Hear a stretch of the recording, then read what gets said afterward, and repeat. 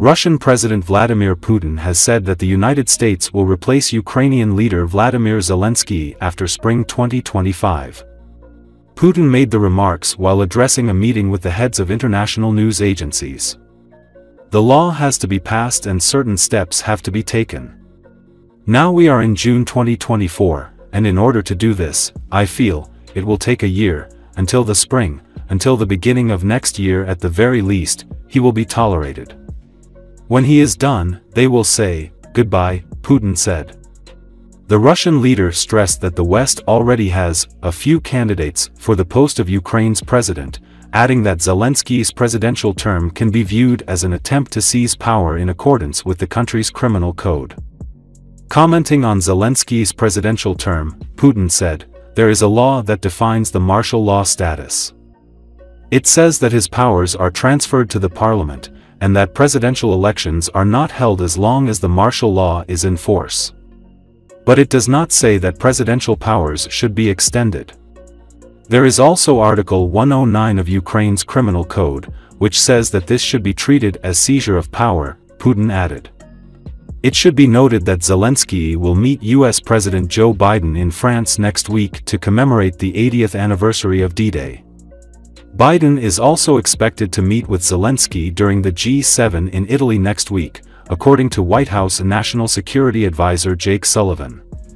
The two countries' leaders last met in December last year to make a plea for military support for Ukraine. Biden in April signed a bill providing over $60 billion in aid for military aid to Ukraine after several months of delay.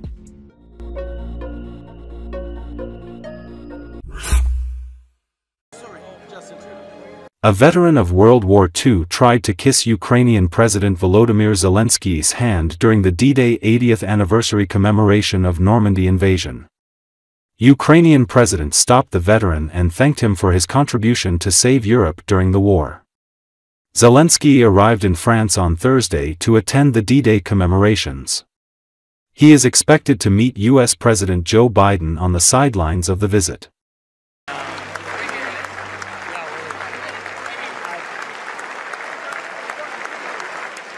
Pray for you.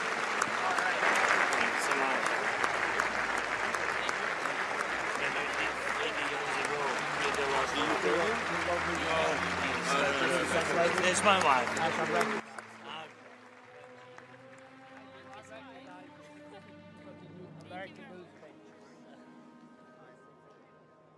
Sorry, Justin Trudeau. Canada, the Canadian Prime Minister. Yeah, this Ukrainian Prime Minister is busy fighting right now. No, no, no, no. Oh, you're the savior of the people. No, no, no. Here's You, you my saved eyes. Europe. Got a picture. Yeah, you want a picture? Got a picture. My hero. No, you are our hero. You're my hero. Only one of you.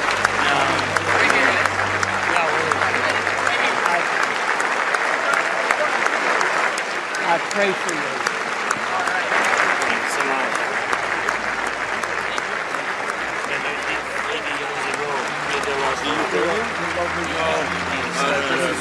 It's my wife. I can recognize. American newspaper.